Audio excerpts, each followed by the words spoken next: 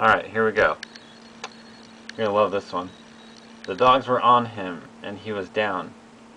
Mary Ella McIntosh said on Tuesday afternoon, I'm glad we're coming down the street and saw it, or who knows what would have happened.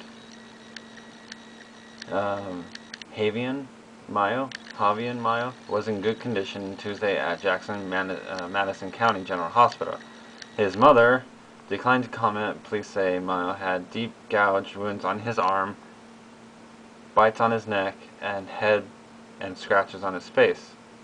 The dog's owner was given a citation because the dogs were not securely properly was not secured properly according to the requirements of city ordinances. Uh, but Jarrett said Tuesday evening that his dogs were behind a fence in his backyard and were not vicious animals. Jarrett said he was not at home when the incident happened, but a, but a neighbor told him the boy, the boys were in the yard kicking the fence to tease the dogs and knocked the fence down. The neighbor could be could not be reached for comment. I never had a problem with my dogs before. Uh, she and several family members were driving along the street on Monday afternoon when she saw three boys walking down the street ahead of them. She saw the dogs run into the street and grab the victim's arms. At first I thought they were playing with him, but, they, but then they pulled him down to the ground. When he, he got up once, but the dogs pulled him down to the ground again and jumped on him. McIntosh said, they quickly drove up beside the boy. Uh, that's when I grabbed for whatever I could find. I got my uncle's steel cane and I started swinging at the dogs. One of them came at me, and I started yelling to the victim to get up, baby, get up.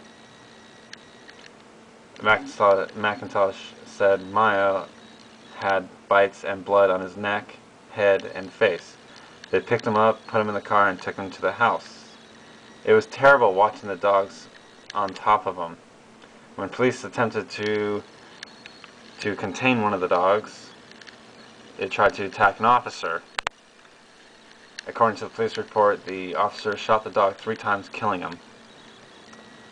The second dog is being held by rabies control. Bell said they would follow normal procedures and hold the dog for 10 days. The dog attacked a child without provocation, and it does not need to be released, Bell said.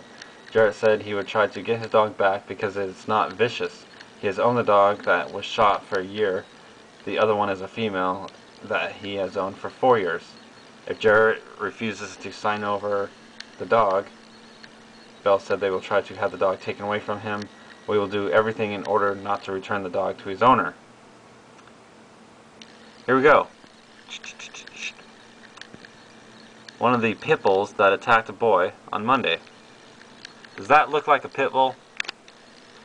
I've been on this picture for over three minutes now just to get you guys thinking why am I showing this obvious lab or shepherd mixed dog? Well, because these people are um, saying that it's a pit bull. So it's uh, and I here's uh, here's the headline: Boy attacked by pit bulls is in good condition. I go down and keep going down and keep going down. Wow, that dog is clearly not a pit bull or even mixed. This is obviously a lab mix that's like partly chow. Clearly, the writer on this article should not be doing any articles regarding dogs because she doesn't have any knowledge of breeds. It's truly sad that pit bulls are getting blamed for what a lab mix has done. It only goes to show you how ignorant people are about the pit bull breed. They are wonderful dogs and they get blamed for things even when they didn't participate. Shame on you, Mariann, for such blatant ignorance.